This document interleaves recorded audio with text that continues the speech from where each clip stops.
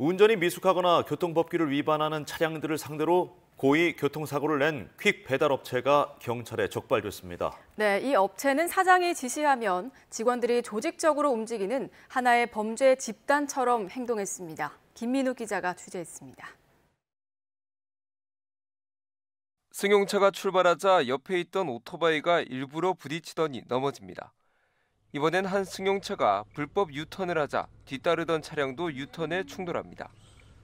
모두 보험금을 노린 고의 사고 사기입니다. 퀵 배달 업체를 운영하는 28살 최모 씨는 비가 오는 등 일감이 없는 날이면 직원들에게 보험 사기를 시켰습니다. 사장인 최 씨가 총책 역할을 하고 실장을 통해 지시하면 배달원이 2명에서 4명씩 짝을 지어 고의 사고를 냈습니다.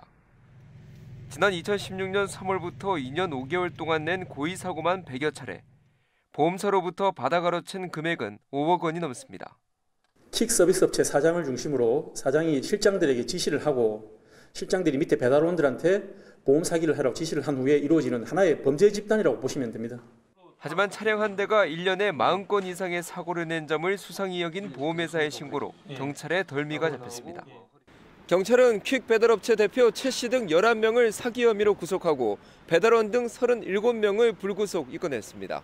KNN 김민욱입니다.